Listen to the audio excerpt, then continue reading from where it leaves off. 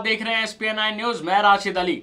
खबर है मध्य प्रदेश से, जहाँ बीजेपी को परेशान करने वाली ये खबर साबित हो सकती है, क्योंकि कांग्रेस नेता, कांग्रेस के दिग्गज नेता का ये दावा है कि इस राज्य से बीजेपी की विदाई तय होगी। जी हाँ, ऐसा कहना है कांग्रेसी नेता का मैं आपको बता दूँ, उस राज्य में हाल फ़िलहाल में उपचुनाव हुए हैं, जिसमें कांग्रेस की जीत हुई और खबर भी ये उसी राज्य से है, जिसका नाम है मध्य प्रदेश जी हाँ ज़्यादा इंतज़ार ना कराते हुए पहले मैं आपको खबर का शीर्षक दिखाऊँगा और उसके बाद आपको लगेगा कि आखिर खबर में कुछ तो दम है। मध्य प्रदेश से भाजपा की विदाई तय, ज्योतिरादित्य सिंधिया। जी हाँ ज्योतिरादित्य सिंधिया ने दावा किया है कि मध्य प्रदेश से भाजपा की विदाई तय, आखिर उन्होंने ऐसा क्यों कहा है और किसके चलते कहा है? जी हाँ तो मैं सबसे पहले आपको एक खबर दिखा दूँ। सिंधिया ने कहा कि इस बात की संतुष्टि है कि पिछले पंद्रह वर्षों में ग्वालियर चंबल संभाग में जितने भी उपचुनाव उसमें कांग्रेस पार्टी को जीत मिली। खबर पढ़ाना चाहता हूँ मैं आपको कि आखिर खबर में क्या है। पूर्व केंद्रीय मंत्री और कांग्रेस सांसद ज्योतिरादित्य सिंधिया ने मुंगावली और कोलारस उपचुनाव में कांग्रेस की जीत को महत्वपूर्ण बताते हुए कहा कि ये जितना, ये जनता का, भारतीय जनता पार्टी को संदेश है कि अब उसकी मध्य प्रदेश से विदाई तय है। मध्य प्रदेश कांग्रेस के पार्टी मुख्यालय में मीडिया को संबोधित करते हुए सिंधिया ने कहा कि इस बात की संतुष्टि है कि पिछले पंद्रह वर्षों में ग्वालियर, चंबल संभाग में जितने भी उपचुनाव हुए हैं, उसमें कांग्रेस पार्टी को जीत मिली है। ज़ाहिर सी बात है, अगर पंद्रह वर्षों में जितने भी उपचुनाव हुए हैं तो कहीं ना कहीं कांग्रेस पार्टी को जीत मिली है। तो ये उनकी जीत के संकेत हो सकते हैं। तो वहीं उन्होंने दावा किया है कि अभी हाल ही में दो विधानसभा सीटों के लिए मुंगावली और कोलारस में उपचुनाव हुए हैं, जिसमें कांग्रेस को दोनों ही सीटों पर जीत मिली है। और अब इसके बाद वो और क्या दावे करते हैं, देखते हैं। सिंधिया ने इस बात का श्रेय कांग्रेस पार्टी के आम कार्यकर्ताओं के साथ साथ सभी नेताओं को भी दिया है। सिंधिया ने कहा कि उपचुनाव जीत यह इंगित करती है कि जनता कांग्रेस के प्रति किस तरह आकर्षित हो रही है। जी हाँ उनके कहने का साफ़ मतलब है कि ये उन उपचुनावों में जीत का मतलब यह साबित होता है कि जनता धीरे धीरे कहीं ना कहीं कांग्रेस को अब चाह रही है। पार्टी के प्रदेश प्रभारी दीपक बाबरिया और प्रदेश अध्यक्ष अरुण यादव की मौजूदगी में पत्रकारों को संबोधित करते हुए सिंधिया ने भाजपा पर भी जमकर निशाना साधा। उन्होंने कहा कि भाजपा सिर्फ़ घोषणा घोषणा करती है। उन्होंने कहा कि हमारी रणनीति माया जाल की नहीं है। हम घोषणा कम करते हैं और काम ज़्यादा करते हैं। मध्य प्रदेश चुनावों में कांग्रेस की तरफ़ से मुख्यमंत्री के चेहरा बनने के सवाल पर उन्होंने कहा कि हर राज्य की स्थिति अलग होती है। मेरी सोच और विचारधारा एक राष्ट्र स्तर पर है।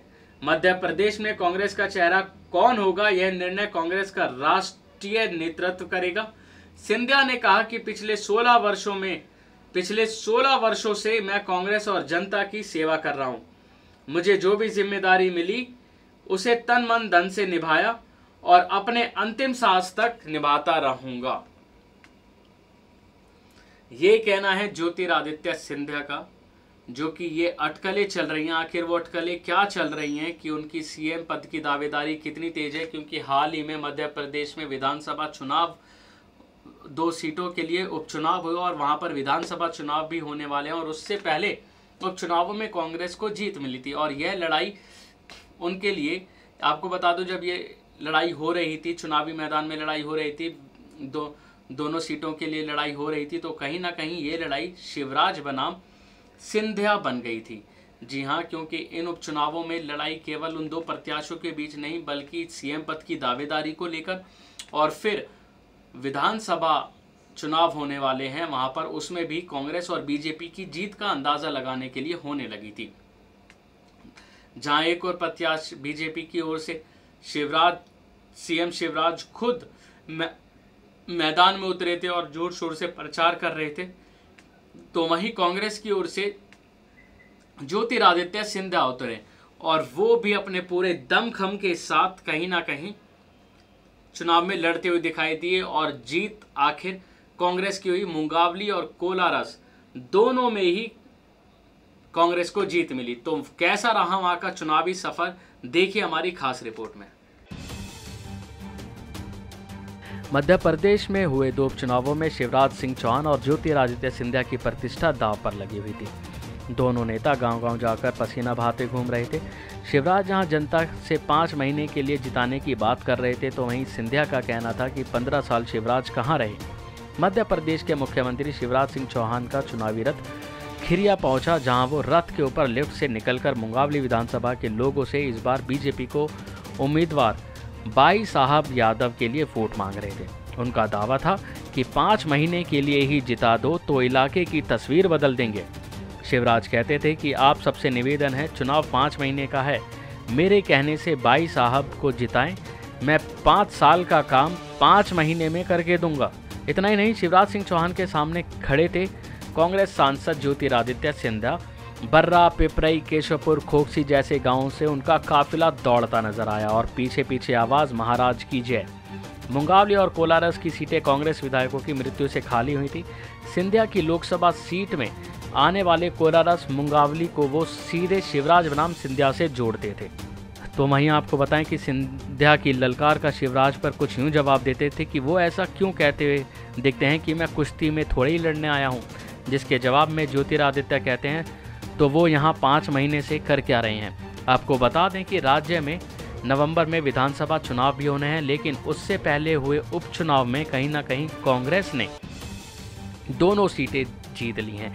जी हाँ कांग्रेस ने मुंगावली और कोलारस दोनों ही सीटों पर जीत दर्ज की है, क्योंकि बड़ी आशंकाएँ बन रही थी कि आखिर इस लड़ाई में कौन सी पार्टी बाजी मारेगी। और इसका अंदाज़ा आने वाले विधानसभा चुनावों में सीएम पद की उम्मीदवारी को लेकर ज़्यादा था, क्योंकि जो पार्टी इसमें जीतती तो उससे जनता का रुख पता चलता। जैसे कि अब उपचुनाव में कांग्रेस जीती है तो इससे अंदाज़ा लगाया जा रहा है कि विधानसभा में कांग्रेस की मजबूती ज़्यादा है। क्योंकि अगर बीजेपी जीतती तो वो भी यही अंदाज़ा लगाती और इससे जो बैकफुट पर नज़र आ रही और जो सत्ता से दूर है कांग्रेस पार्टी, उसकी स्थिति कहीं ना कहीं मज़बूत हुई है और मजबूती के साथ साथ कहीं ना कहीं ज्योतिरादित्य सिंधिया की दावेदारी भी अब ज़्यादा मज़बूत होगी। तो वहीं अब आने वाले विधानसभा चुनाव जल्दी होने वाले हैं। नवंबर तक ये विधानसभा चुनाव होने हैं और उससे पहले ज़ाहिर सी बात है, ये देखना होगा कि अब सरकारें क्या क्या करेंगी?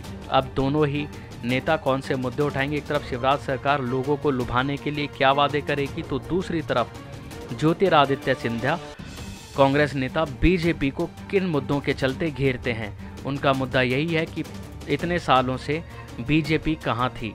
कि वो इतने सालों से लोगों की बातें क्यों नहीं सुन रही थी? तो वहीं बीजेपी सरकार, यानी कि शिवराज सरकार, लगातार उन लगातार लोग लुभावन के लिए एक के बाद एक वादे करती नज़र आ रही है, जिससे लोगों का वह दिल जीत सके। वहीं कांग्रेस है, जो उनके हर मंसूबों पर पानी फेर रही है और उनका जमकर विरोध कर रही है। तो देखा आपने कि किस तरह से वहाँ पर चुनावी मैदान में जो कि कैसे कैसे रणनीति अपना रहे थे, दोनों ही नेता और कैसे जो कि कांग्रेस पार्टी जो कि ज्योतिरादित्य सिंधिया के नेतृत्व में वहाँ पर चुनाव लड़ रही थी और दूसरी ओर बीजेपी के खुद मुख्यमंत्री शिवराज सिंह चौहान, जो कि लोगों से वादा करते दिखे कि भले ही पाँच महीने के लिए सही, लेकिन जिता दो। मैं पाँच साल का काम पाँच महीने में करवा दूँगा। उन्होंने इतनी बड़ी बात तक कह डाली। और हाल ही में मैं आपको बता दूँ, अब शिवराज सरकार नई नई घोषणाएँ कर रही है नए नए वादे ला रही है ताकि लोगों को लुभाया जा सके। उन्होंने ये वादा तक कर दिया है कि जो कि वहाँ पे गरीब मजदूरों के बच्चे उनके जन्म से लेकर कहीं ना कहीं उनकी पीजी तक की पढ़ाई का खर्चा जो कि सरकार उठाने वाली है। इतने बड़े बड़े वादे बीजेपी सरकार ने कर दिए हैं, लेकिन इन पर अमल कब होगा, ये पता नहीं। बीजेपी सरकार, यानी कि एमपी में शिवराज सरकार ने करे तो ज़रूर है, और उसी को लेकर कांग्रेस भी उन पर हमलावर है। जी हाँ कांग्रेस अब ये देख रही है कि कहीं ना कहीं आखिर बीजेपी जो है वादे करती है और इसी को लेकर उन्होंने बयान भी दिया है। ज्योतिरादित्य सिंधिया ने ये निशाना भी साधा था कि मैं आपको दोबारा ये लाइन पढ़ाना चाहूँगा। उन्होंने कहा था कि भाजपा सिर्फ़ घोषणा करती है। उन्होंने कहा कि हमारी रणनीति माया जाल की नहीं है। हम घोषणा कम करते हैं और काम ज़्यादा करते हैं। ये कहकर उन्होंने बीजेपी सरकार, शिवराज सरकार मध्य प्रदेश सरकार पर निशाना साधा और वाकई बात है कि आखिर उन्होंने जो बयान दिया है कि अब जो कि मध्य प्रदेश से भाजपा की विदाई तय, इसमें कितनी सच्चाई है, ये तो खैर जनता ही बताएगी कि आखिर जनता, वहाँ की जनता शिवराज सरकार को दोबारा चुनेगी, या फिर शिवराज सरकार को दरकिनार कर मध्य प्रदेश की जनता कुछ बदलाव लाएगी और वहाँ पर कांग्रेस की सरकार को चुनेगी। तो आज के लिए बस इतना ही। अगली बार जो जो अपडेट आती रहेंगी, हम पहुंचाते रहेंगे। चुनाव में अभी बहुत टाइम है और जब तक क्या क्या हलचल मचती हैं, वो सभी देखने के लिए बने रहिए हमारे साथ और देखते रहिए एस पी न्यूज़ नमस्कार।